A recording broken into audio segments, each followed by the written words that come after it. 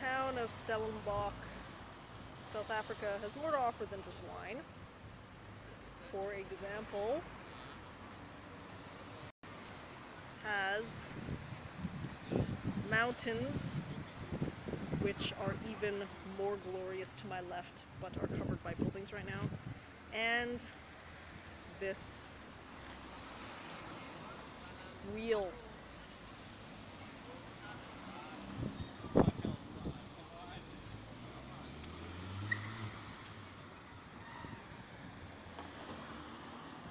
why is this wheel here and significant? This is called the New Molen. It was the third wheat mill in Stellenbosch, constructed in 1749.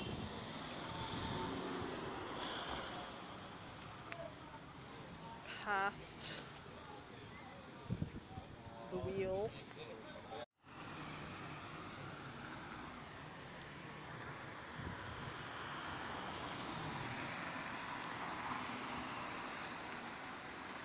these are the mountains that were hidden by buildings that I am talking about.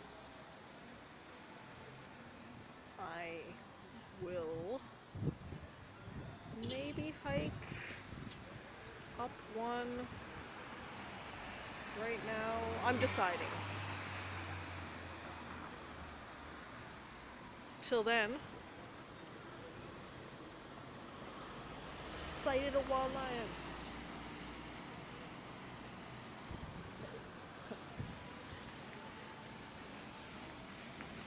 That particular mountain is a little too far to hike today, I think.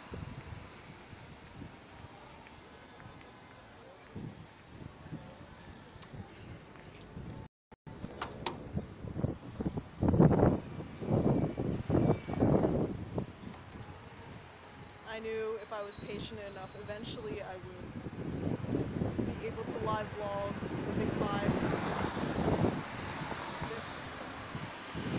This apex predator here is, in a cliche manner, my favorite animal.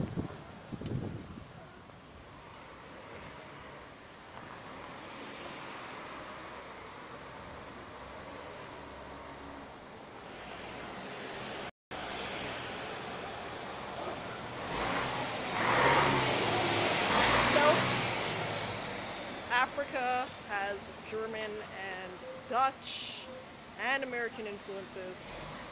This town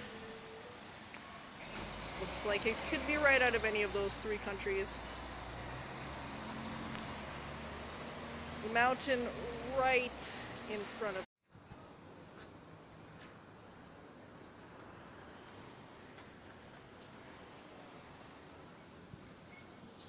Who? Patience is key with Wi-Fi in Africa. If I walk slowly enough, I can live vlog the mountain that I might hike